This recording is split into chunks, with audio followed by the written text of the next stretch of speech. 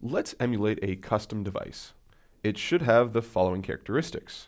A width of 412 pixels, a height of 603 pixels, a device pixel ratio of 3.5, and then the user agent string should be this. You'll find a copy of it in the instructor notes.